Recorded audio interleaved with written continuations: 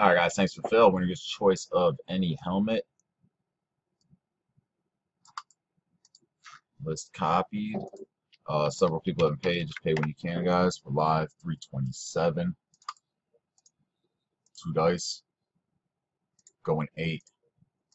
Good luck.